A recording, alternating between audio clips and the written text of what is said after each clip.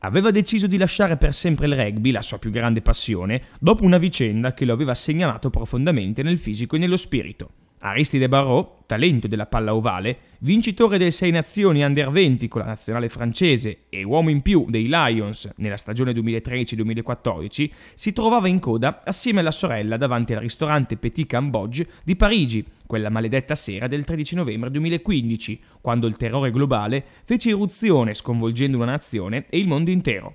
Un uomo armato scese infatti da un'auto e aprì il fuoco, ferendo il talentuoso rugbista al polmone e al piede.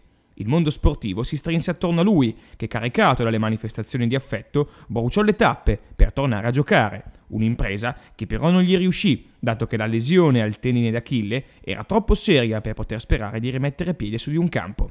Ecco allora la dolorosa scelta, taglio netto con il rugby e addio a una promettente carriera che fino ad allora era stata ricca di successi.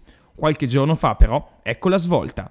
A San Rocco, dove gli è stato consegnato il premio internazionale assegnato dal Panathlon Piacenza primogenita, Barrault ha annunciato il ritorno, ma non da giocatore. Un grande amico, oltre che rugbista, gli ha fatto scattare nuovamente la scintilla e a maggio Barrault partirà per il Burkina Faso, dove sarà assistente del commissario tecnico per il settore tre quarti.